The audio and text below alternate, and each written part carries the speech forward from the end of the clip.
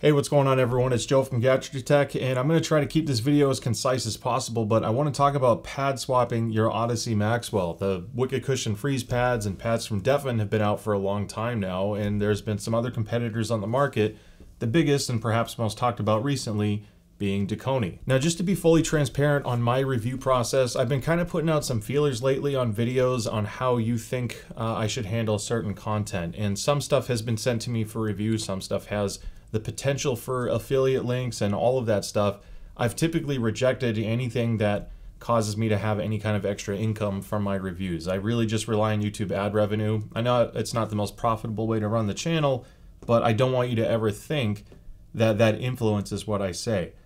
Now this video is kind of unique because I have a lot of pads here and several of them I have set up affiliate links to and that was per feedback from all of you because you said that you trust me enough to uh, still get money for the channel, but uh, maintain transparency. So I want to keep that going.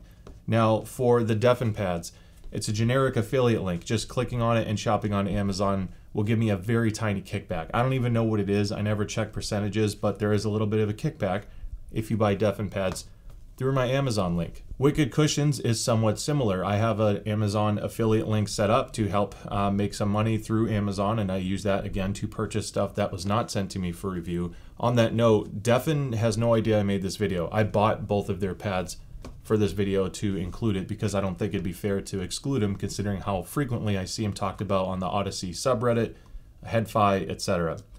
Wicked Cushions had sent to me uh, these pads in the past along with some head straps I'll talk about later and Dekoni also sent their ear pads to me for review. Now, I also have an affiliate link set up through Dekoni. Originally, I wouldn't have accepted that, but by doing so, you actually save money too. So with Wicked Cushions, if you use my coupon in the description below, you save 15% off and I get a tiny kickback. With Dekoni, if you use my uh, coupon code, which is Gadgetry and the link in my description below, you get 10% off your purchase. And again, I get a small kickback. So technically, I profit off of any of these, um, and I'm not going to use that to influence which ones I suggest.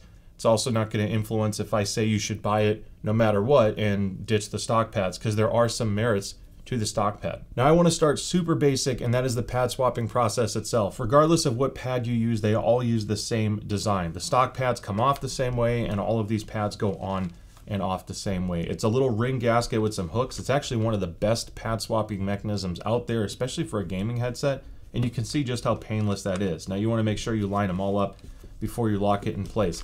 The Wicked Cushions, on this note, is the smoothest and easiest to get on. It's also the least secure technically if you're you know, grabbing the headset like this and it can twist. There's a chance you'll untwist it. That's about the only drawback of that. When you go to something like the Dekoni uh, Velours, you have a much you can hear that click into place. It's much stronger, um, and it, once it's on, it's on and it's fine. The let's just on the note touch on the Deafen pads. Let me look at the left. This is the silk screen version. I'm going to lock that one in place. The Deafen pads are right in the middle. So the Dekonis are the most difficult to put on. Deafen is um, it's actually quite nice how these install. The Wicked cushions are super easy. They just seem to be less tight, but I haven't had any issues with them falling off. I didn't know Deafen made two different pads for the Maxwell. I guess I just quickly shopped. Originally, I got the Deafens because everyone talked about the silk material being really soft and more comfortable on the ear. So I buy a Deafen pad and I don't pay attention. And the new version says mesh fabric and it's identical to the Wicked Cushion mesh. I mean, it's pretty much a perfect clone. The difference is the pad fill, and obviously you have design choices here, but essentially the surface material on your ear is the same. So if you're buying a Deafen pad, for one, I'm not a huge fan of the mesh because at that point, for the small price difference, I would just go with the freeze, and I'll tell you why in a moment. But the silk pad is definitely no joke. It's it's super slick. It's very comfortable and light and cool. So if you are uh, deciding to get Deafen, I would stick with the silk. Now, as far as anything else that kind of showcases why the Deafen pads are a little bit cheaper, it is noticeably built cheaper than any of the other pads here this little ring that kind of creates a seal on the back, it's a much thinner piece of rubber, whereas all of the others have a more robust gasket material. You can almost see how thick that gasket is on the top-down view, whereas on the Deafen pad, it's a really thin piece. I have no idea how long this will last. I've only had these for about a week, but I wanted to disclose that. The other thing I'm not crazy about is you can hear the glue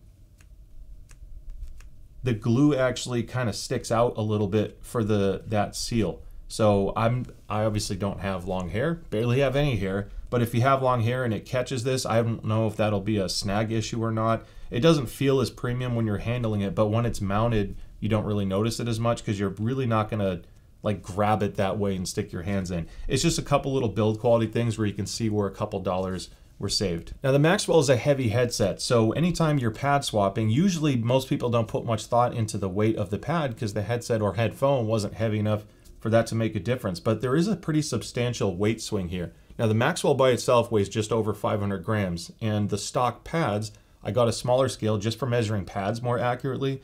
The stock pads weigh just over 40 grams, and when you go all the way up to the Wicked Cushion Freeze pad, which is the heaviest here, the pair of them weigh 100 grams. So it's 60 grams heavier than stock just by switching to the freeze pads. Now pad dimensions are also important to consider, so instead of measuring every single pad on the video and dragging this out, we're gonna throw a table up on the screen. So there are a few things to consider. One is the front pad depth, which is obviously towards the front of your head. The back pad depth is usually a thicker depth because most pads are slightly angled or tapered. It usually provides better comfort, audio performance, and a more consistent seal. You will see a difference among all of these pads. The other difference you will see is how much height and width you have on each pad as well. The Dakoni pads aren't much larger than the stock pads, both on height, width, and depth. They're actually fairly comparable. In the suede pad, even though it's slightly deeper, it has an actually a slightly smaller opening for your ear. Now, I found that it's really hard to find glasses comfort ratings or reviews specifically because, uh, one, we have different experiences, and frankly, how do you even measure that? So, when it comes to glasses comfort, in my experience, because I use Gunnar uh, blue light blocking glasses, I actually don't mind the stock pads at all. They're very soft, they're pretty springy, but the compliance on the initial compression is not that bad. So, glasses weren't really as much of an issue for me on the stock pad.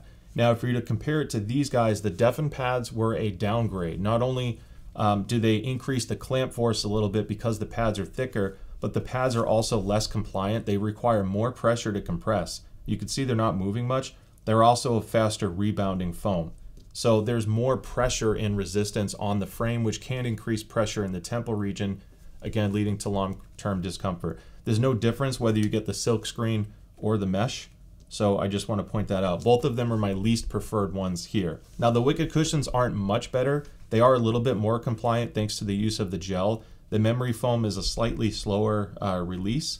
So I think the stock pads still have an edge on the Wicked Cushion Freeze purely on pressure, maybe not breathability, but I do want to cover that. Now the Dakoni pads are an upgrade for glasses comfort. They use a slow rebound memory foam. It's a very soft memory foam and you can see a big difference of how much it moves in with the same amount of pressure. They also rebound slower, like I said, and if you look at the suede or the velour pad, it's even better. So if you're looking for the ultimate glasses comfort, the suede or velour is my favorite, followed closely by the sheepskin version. So let's talk about heat because this might be another reason why you're considering upgrading and the stock leatherette or pleather pads may or may not affect heat issues for you. We all have different bodies and for me it hasn't been that bad. I'm not as sensitive for heat when it comes to leatherette, but these do get the most spicy or warm out of all of these pads here.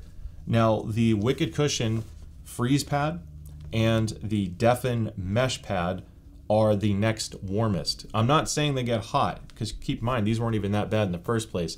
This sport fabric does help. You will never get sweaty with either of these pads. Now, the Deafen pads heat up a little bit quicker. The Wicked cushions take longer to heat up, but they also take a little bit longer to cool down if you pull them off their ear. Because of the gel, there's a little bit more of a thermal mass going on. So it's just a physics thing.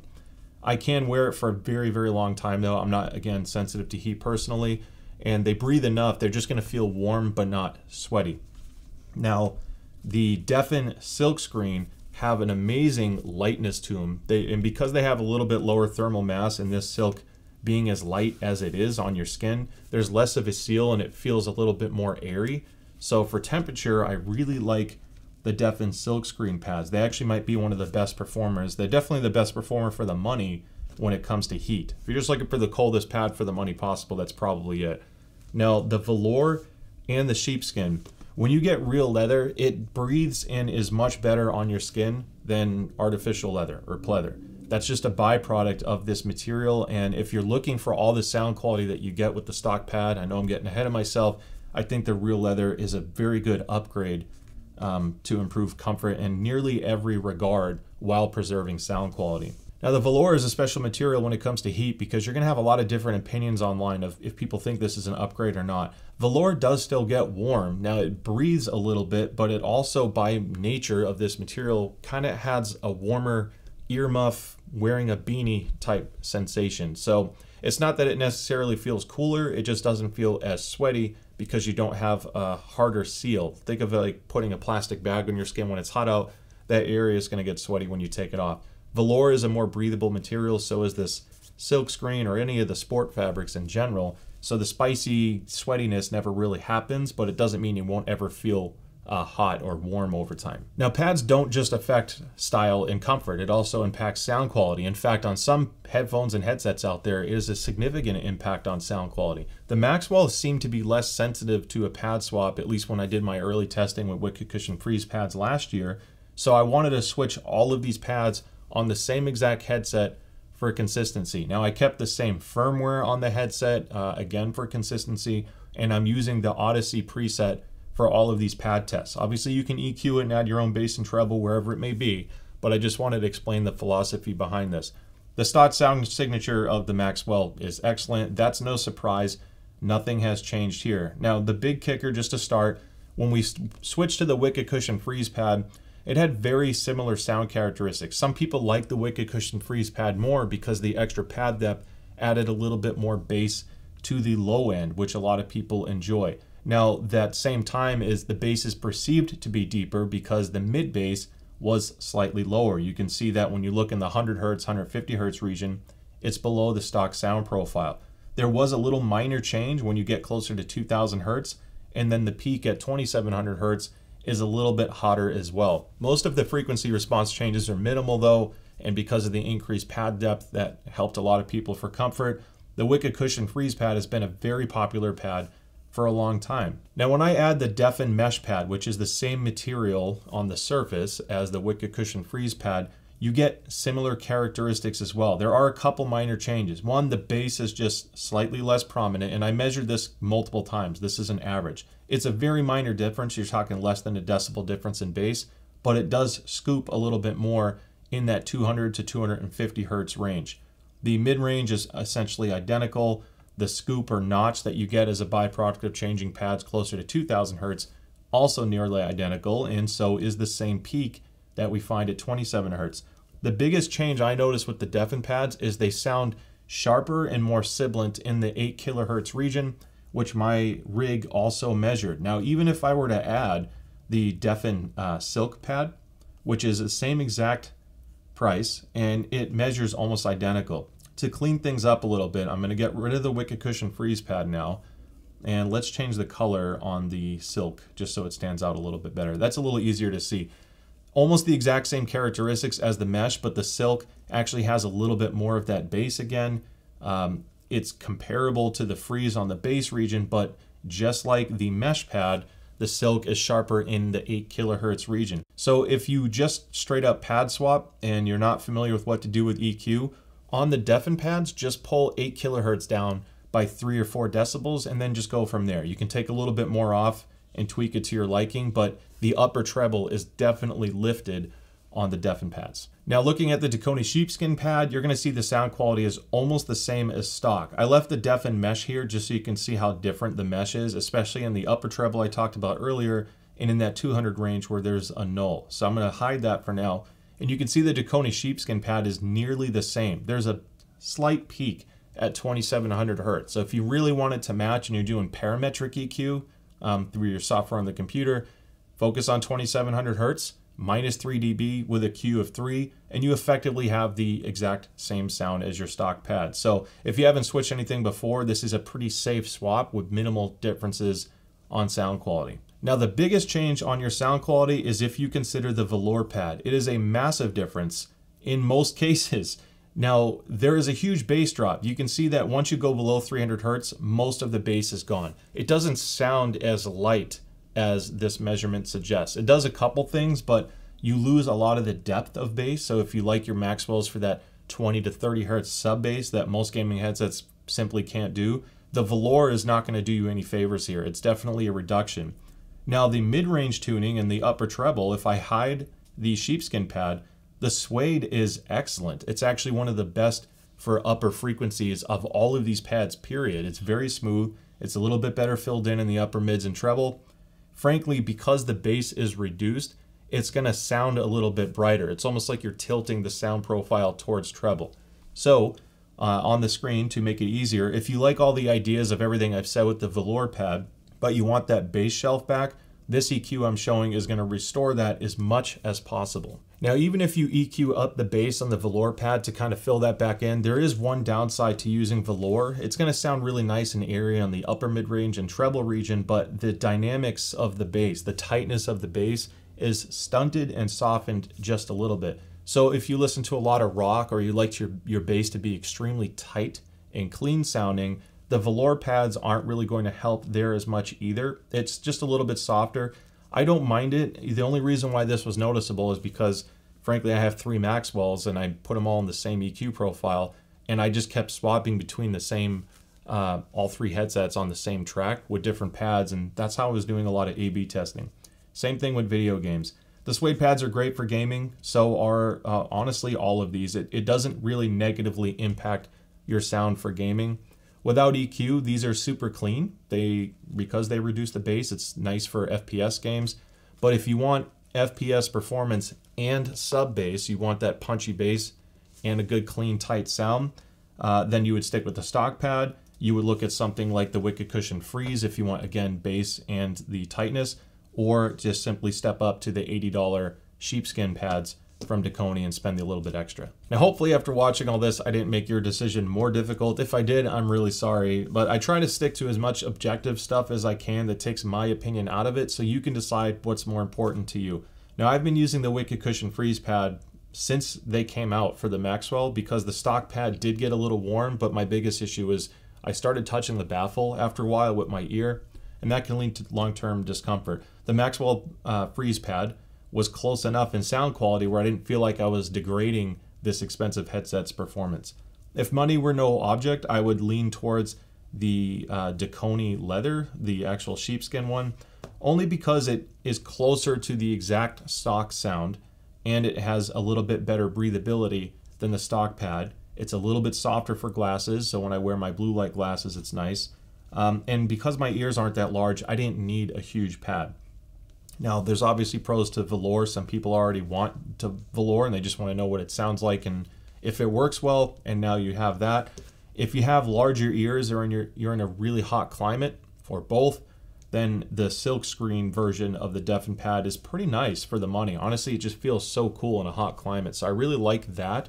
It's not made as nice, but there are some pros there. I don't like the sound quality impact as much on the Deafen pads because they make the upper treble too strong. So I did have to EQ that down on both of them. The Deafen Mesh, I don't understand the reason to consider it just because it's almost a clone of the Wicked Cushion Freeze Pad, but with lower quality. Even the pad fill, like this isn't, when you look at a top-down view, it's kind of bumpy. It's not a consistent pad cut, and the Wicked Cushion Freeze Pad is much more consistent. I've had hundreds of their pads and never had quality issues. So for a $2 difference, spend more on the Freeze Pad personally. If you want to customize it further, this isn't a plug for Wicked Cushion. I'm sure there are other straps out there, but just to throw this out there, the stock pad has three holes. Wicked Cushions came out with a silicone strap that gives you four holes so you get more height adjustment. And just to show you how it compares uh, width-wise, it's not going to make as much of a difference in overall sizing unless you have a smaller head. If you go to the small setting and you need more small, then get the Wicked Cushion strap because of the extra holes, it is offset just a little bit. Everything is pulled in like a millimeter or two. So it might be just right, or maybe you, again, want to customize it to match your headset. Now, if you want to compare any of these measurements yourselves, I have links in the description below to take you to the Squiglink site so you can play with it and uh, just a reminder, if you want to purchase any of these, a lot of links in my description below will save you money as well. It's not just about the kickback. Otherwise, purchase it wherever you like. No pressure. I won't get upset. I promise. Thank you so much for making it to the end. Don't forget to like and subscribe so I can see you at the next video. I'll see you next time. Bye.